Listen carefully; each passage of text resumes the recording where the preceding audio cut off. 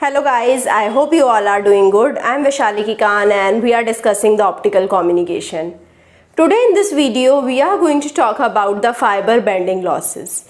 So this was the last video in the videos of the attenuation. I hope you all have seen the first video on the attenuation in which I have discussed what all factors which are causing the attenuation of the signal. So now the last part is the fiber bending losses. It is going to attenuate the signal. Now what is fiber bending? So as the name suggests fiber bending is the bending of the fiber. Now when I am bending the fiber in that case also I will be having some losses. How the losses are produced due to the bending of the fiber that is the thing that we are going to see in this video further. How we can reduce these losses. This is a very important part okay so for that i am going to see what all factors upon which the fiber bending loss is dependent upon right? And after that we are going to see the different types of the fiber bending losses that is the macroscopic bending losses and the microscopic bending losses. So let's start our discussion with the introduction to the fiber bending losses. Now whenever i'm bending the fiber let's suppose this is my fiber i have bended the fiber right? So this is the core and now in the surrounding i will be having the cladding okay so now when I have bended the fiber you can see if I bend it properly. Right so here I will be having more radius and here at this part I will be having lesser radius. So I will be having difference of the radius if I am bending the fiber right? At this part actually I will be having more radius and here I will be having lesser radius. So when I have more radius over here signal is traveling like this right so here the signal has to travel a longer distance and it may reach into the cladding as well. So now when the signal is reaching into the cladding it is having to travel a longer path and when it is traveling the longer path as compared to this single signal this velocity of this signal has to increase and the, when the velocity of this signal is increased the energy of this signal is going to increase I know energy is related to the velocity of the signal. So when the velocity is increased, energy is increased. And now I can say when I have very high energy, this signal can go and radiate outside the optical fiber and in this manner it is going to produce some losses inside the optical fiber. I hope you understood the basic concept. Now let us discuss about the definition of the fiber bending losses. Now it is the radiation loss. I hope you understood. This is the radiation that is happening. Right. So I can say what type of losses that are happening. The radiation losses are happening. Now the radiation losses are happening at the bends. So here the signal is coming out of the optical fiber at the bends. So radiation losses at bends or curve due to the energy in the evanescent field. Evanescent field is present inside the cladding. So due to the energy in the evanescent field at the bend exceed the velocity of the light inside the cladding.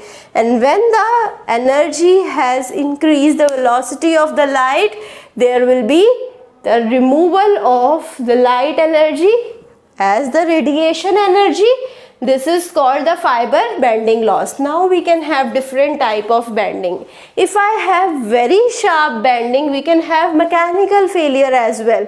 All of the energy is going out. There will be no energy which is going to the receiver and this is called the mechanical failure.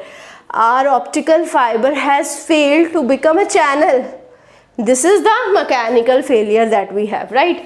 So the guidance mechanism is inhibited and light radiate from the fiber. We are shifting from the guided mode to the radiation mode. Now the part of light that is traveling inside the cladding, it has to travel faster as I told you because both of the light which is traveling inside the core and which is traveling inside the cladding as well as core both of them has to reach the same time. So now when the light let's suppose we have this the light is traveling inside the core only. And in this scenario light is traveling inside the cladding also. So in this scenario we have to travel light has to travel lesser distance. Here the light has to travel larger distance. So to travel larger distance in the same time as this light so what can be happening the light in the cladding has to travel with a larger velocity so the light in the cladding need to travel with the larger velocity than the velocity of light which is not possible and hence the energy is lost through the mode of radiation. I hope you understood this thing and how we can denote the energy loss. So energy loss is given by alpha r. So this is the attenuation due to the radiation and is equal to C1 exponential or this is minus C2 into r. So where r is the radius of the curvature of the fiber. As I told you we are having difference in the radius of curvature. So you can see here we will be having shorter radius here we will be having at the bends larger radius and now at the bend we will be having larger alpha right so radius of the curvature of the fiber will be related to the attenuation right so now I can say if I change the radius of the fiber I will be having the radiation losses which is called the fiber bending losses. So we will be having multi-mode fiber which is having the larger fiber bending losses because in the multi-mode fiber the R would be high. So when R is high I can say alpha would be high right. So th in this scenario I can say I will be having larger bending losses in the multi-mode fiber. C1, C2 are the constants that we have.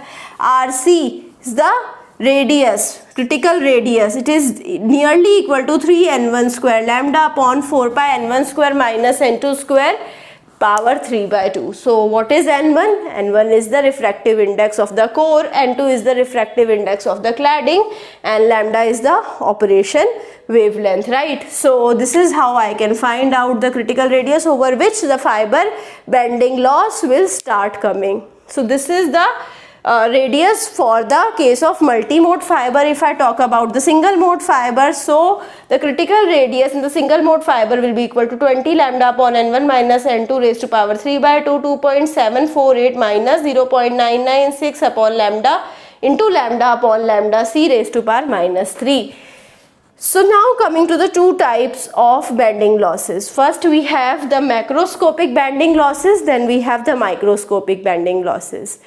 As the name suggests, macro means on a larger scale, micro means on a smaller scale. So in the macroscopic bending losses, we are bending on a larger scale. So you can see we have a bigger bending. So when the light is traveling here, so at the bend it is going to come out, right? So radius of bending here would be greater than the radius of the core. So you can see radius of bending is here.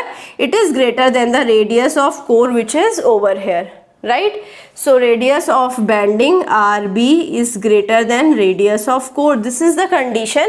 Whenever this condition is reached i will be having the macroscopic bending losses. Right? So now you can see light would be traveling inside the cladding. And when the light is traveling inside the cladding it has to go with a higher velocity. The same concept. And when it is going with a higher velocity it will be having higher energy and it will be going out right coming to the macroscopic bending losses. Here also the light is traveling and now at this uh, in inconsistency or non-uniformity the light is going to come out of the fiber.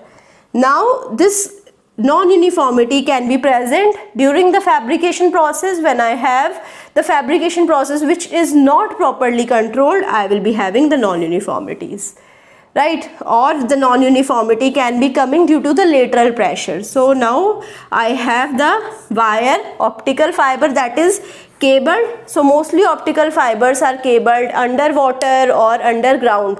So it will be having some lateral pressure over it and due to the lateral pressure at some position this optical fiber is going to bend and this is the micro bending right? We can have the tension effect also. So when the wall is there and when the optical fiber is tied to the wall we will be having the tension present on the wall. This is going to again cause the micro bending loss inside the optical fiber. So we will be having the drastic change in the radius here. You can see here the radius was something and here I will be having a drastic change in the radius right So we will be having more coupling losses here because I have the drastic change in the radius over here. I hope you understood why I have the micro bending losses, right? So microscopic bending losses is occurring due to the these two reasons. Now how I can reduce the micro bending losses? First of all, I can have the larger refractive index difference in between the refractive index of the core and the refractive index of the cladding. If I have the larger difference between these two, I can easily avoid the micro bending losses. Second, I can operate my optical fiber at the shortest possible wavelength and in this manner I can further reduce the micro bending losses. Further, I can have a larger process control during the manufacturing or the fabrication and due to which I can reduce the microscopic bending losses. Then I can use the compressible jackets which are going to reduce the lateral pressure that are coming onto the optical fiber when we are cabling the optical fiber. So I hope you understood the various things that I have discussed in this video regarding the uh, micro bending losses if you have still any kind of doubt related to the any topic that I have discussed over here you can put the doubt in the comment and I will be trying to resolve your doubt as soon as possible. I hope you like this session. If you like it please push the like button subscribe to the channel share it with your friends. Do meet me soon in the next video. Thank you so much